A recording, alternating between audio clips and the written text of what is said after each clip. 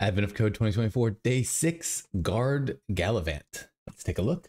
Um, I'm going to get a grid here like this, and uh, it's got obstructions, which are the pound sign, hash signs, and uh, it's got a guard who I believe is always facing up um, to start.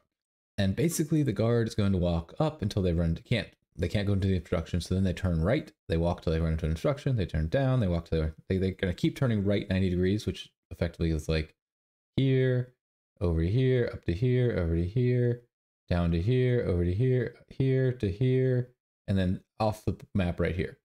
Um, and so you can sort of see they trace through these obstructions. Um, and basically, I need to count up all the places that they visited. So here you can see they put an X on every space that the guard stepped. Uh, and that's 41 distinct spaces. And so it doesn't matter that they came through the same space multiple times in different directions, just did they go in the space or not? Um, that's the puzzle. Um, we'll start with Genday. Um, I've got, I'll, I'll, link to the intro video where I show, where I talk a little bit about this. Um, but uh, basically it's going to pull my input and create me a stub. Uh, I should grab the, oops, not that one. Let's see, where's my initial one here with them facing up and ex.txt. Boom. Okay. Uh, the input is not, not surprisingly, is much bigger uh, do we have a do we have a guard in here somewhere? Yep, there's our guard. Um, would not be fun to manually go through this. Um, looks like what do we have? 130, 130 rows at least. So okay. Um, strategy wise, I think there's probably we're we're gonna go through this and just sort of actually walk it. I think there's probably an algorithm to do this more efficiently. Um, like something where from a spot instead of stepping a spot at a time we could probably like find the next just find the next um go in go in some direction. Yeah that's kind of stepping a spot at a time. I don't know. There's probably a more efficient way but i think at least for part one i have pretty high confidence we can do this with just a brute force like step step step and walk walk the maze. Uh who knows if that's going to put us in a bad spot for part two but we'll give it a shot. Um my input stub here is already going to work. We're going to read in, um, we're going to remove new lines, to get each line, and that should be fine.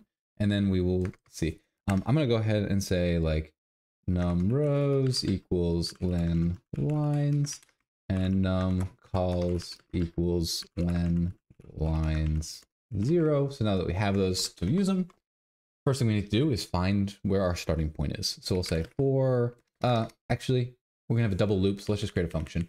Um, def get start for r in no, uh, range num. Uh, actually, I like. Let's see for r comma row in enumerate lines for c comma val in enumerate row if val equals up, return r comma c. There we go. Now we got to get start. So we'll say um, r comma c equals and uh, get start like that. Um, we'll say dr dc is equal to, and now we're going up. So our dr, uh, that's probably easier to look at the example. Our dr is going to be negative one. We're going up in the rows, and our dc is going to be zero to start. Uh, so d is negative one zero. Um, and we'll need a visited equals set. Cool. All right, now uh, we will, while true, um, and we can, I know down here we can do, um, we, we can just get rid of part, well, part one, we can say this equals len, if I can type, uh, vi wow, visited. There we go. Okay, so Walter, what are we going to do? We are going to say visited dot add r comma c. We're going to add our point to the visited, starting with our start point. Now, next thing we need to do is we need to check our next spot. So we say uh, if, so then we, I guess we can just say r uh, comma c equals r plus dr, c plus dc. We move to, uh, we check the next oh, we probably don't want to do, we don't want to do that yet. Um, we want to say if um, dr uh, r plus dr uh, okay, we, we need to check if we go off the map, right? So if that is less than zero, or I guess the easiest way to do this is if not uh, r uh, 0 is less than or equal to r plus dr is less than rows and 0 is less than or equal to c plus dc is less than cols. So that means this is basically says, uh, oh, it should be num rows, shouldn't it? Let's see, num rows and num cols. So basically what I'm doing here is I'm going to say, this means I'm in a valid space. So if I'm not in a valid space, I've walked off the map, I'm done. So this will be a break. Now I leave the loop. Um, and that's, that's, that's what we need to, that means we've successfully ended. So the next thing we need to do is say, um, if uh, let's see. Our uh, lines. I should probably name this something better. Let's let's rename this. Uh, rename symbol grid. If grid of r plus dr, c plus dc uh, equals pound sign, then we're going to. I'm just going to say turn. We'll come back into that in a second. Else r comma c equals r plus I guess we can just do r plus equals dr c plus equals dc. Uh, whoa, dc. So basically, if we if the next space is a thing, we're going to turn, which we haven't done yet. And if the next, L, otherwise we're going to step step in that direction, and then we just loop. Um, how do we turn? So let's go to our input here. Right now, anytime we're going up, uh, down here, we're going up, we're going to be minus 1 comma 0. Uh, when we turn right, the next one is going to be, uh, we're going to be going right. So we're going to be going 0 comma 1. Then we're going to be going, the next time we're going to be going 1 comma 0. And the next time we're going to be going uh, 0 comma negative 1. What we're basically doing is we're saying this one, um, dr, which is this one, uh, dr, which is this one, becomes DC. Um, it just every time it becomes DC. So this this becomes the zero. Uh, this one becomes this one. This zero becomes this zero, and then this negative one becomes this negative one. DC, which is right here, becomes negative dr, and this one here, you know, just negative zero zero. This one here, so so effectively, it's pretty easy actually. We can just say uh, turning is really just to say the uh, uh, dc dr is equal to the uh, negative dr dc. And so that is effectively a right turn, and that'll work for us. Um, we might be done. Let's see, Python, day one, example of text 41. What was the example? That sounds about right. Sounds, let's see. Yeah, 41. Okay. Let's go back and do a try here. Um, I think this should be pretty, I think this should be pretty fast. Yeah, it does. 5145. Awesome. Let's go check out part two. Okay, so for part two, we've decided we can't wait for the guard to walk off the map. Instead, we want to place one obstruction in such a way so that the guard gets stuck in a loop and we know where the loop is and therefore we can sneak around. I don't know. This story doesn't make too much sense, but we're going to go with it. Um, and so the question is, so I guess you can see they put this obstruction here. The guard hits this loop and then just loops forever. Um, there's other places they can put obstruction here. Um, they can put an obstruction here. So basically, there's a lot of places with the obstruction. In fact, there are six different places in the example that they can put an obstruction. Um, it's probably much higher in ours. The question is, how many obstructions can we? How many different places can we put an obstruction? Um, this is where this is where doing part one smarter could benefit us. Um, and really, there's two ways I could think of that we could be more efficient with this. Um, first, if we, there might be some way to look for patterns in here, like where you find three corners of a square and just figure out how to get yourself into it. And so you can sort of just look across the grid once and figure out where the patterns are that we could find. Um, not only do we have to find the pattern of a box, we have to then find the make sure that the guard gets into that pattern, like steps in in the right direction um, into those spaces.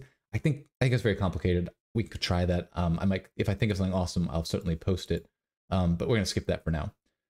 We could also try just like, what if we put an obstruction in zero, zero? What about zero, one? What about zero, two? And just like run the whole thing over again. Um, this is where if our part one was less brute forcey, if we had a more creative solution where we just sort of could see ahead, maybe that would go faster. Um, and that's where I'm going to try if just straight up taking what I did in part one doesn't work. But we're going to first start with what we did in part one. Um, so I think i I thought about this a little bit while, while I was paused reading. This loop is going to be almost the same, but it's going to be slightly different enough that it's going to be, I think, not worth it trying to convert this into a loop like that works for both. So I'm going to just create new code down here. Um, and first thing I'm to do is create a function, and I'm going to say like check for loop, and that is to be my function. Um, I'm to I'm to kind of messily handle global variable, like working off like the global grid and things, because it just feels I'll, it, it's not great coding practice, but for an Advent of Code challenge, it's fine.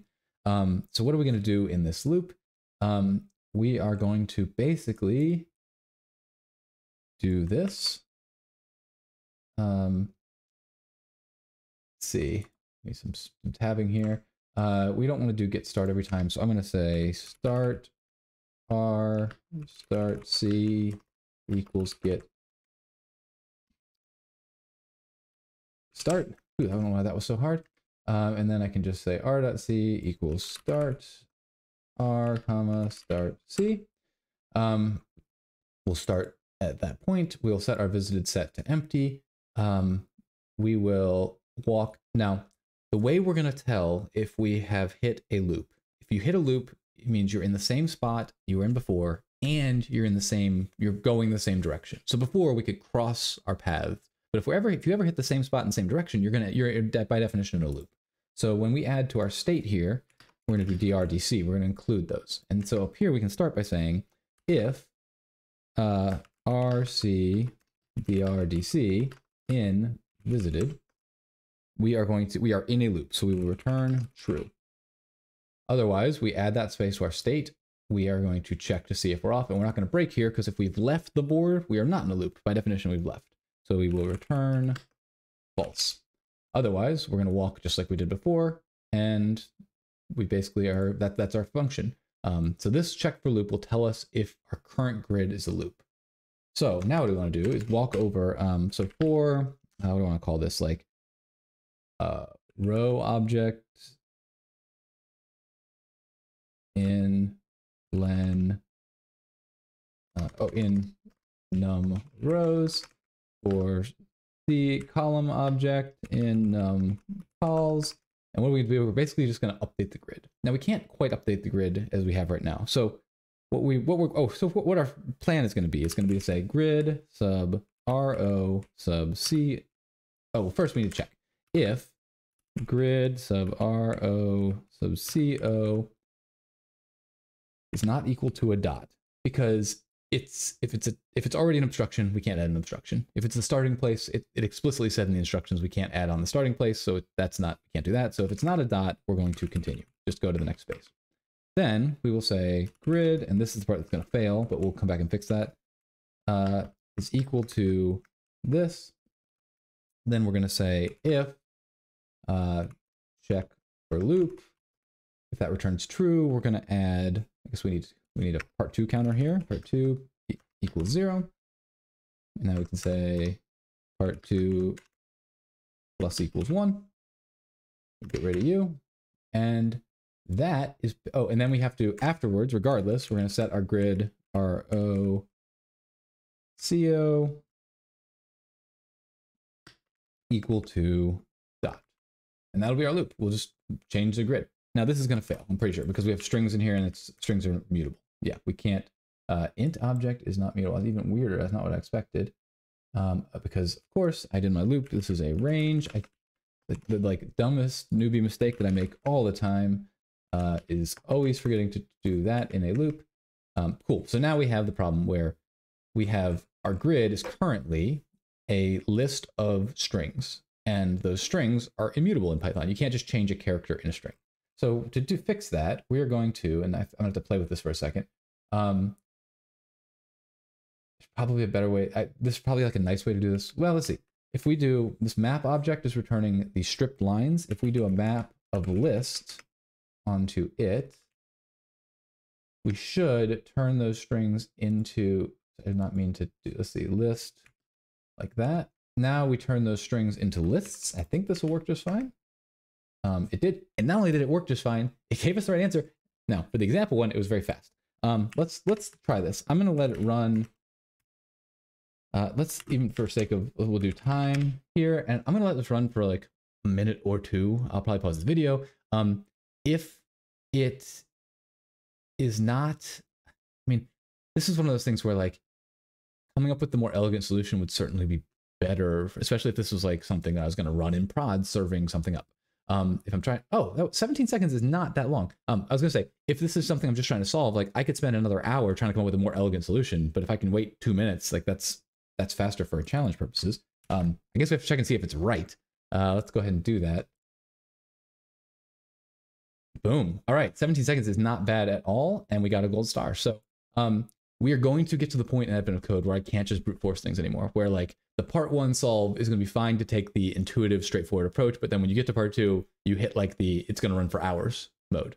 Um, but day six, we're not there yet. So um, that's it for today. Thanks for hanging out with me. We'll talk, uh, see you tomorrow.